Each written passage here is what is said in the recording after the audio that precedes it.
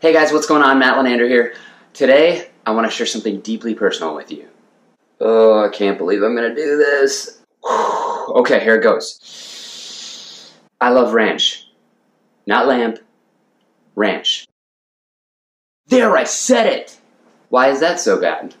Well, typically, ranch has a bunch of extra junk in it that we don't want when we're trying to lead a healthier lifestyle and specifically cut down on fat. Let's see soybean oil, water, vinegar, sugar, salt, egg yolks, buttermilk, food starch, modified. Do I really need to say more? Get out of here, ranch. Instead, what I want you to think when you're meal prepping food is spices, not sauces. If you're like me and you hate broccoli, because honestly, I think it's kind of disgusting, but you need something to dip your vegetables in, this is a great alternative. All you need is two things a 6 ounce tub of Fage yogurt and a ranch packet.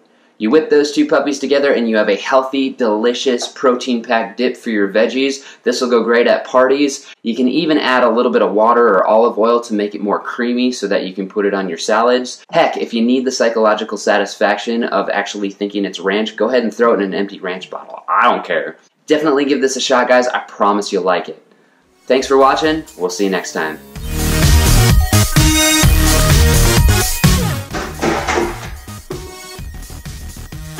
Get out of here, ranch. Get out of here, ranch.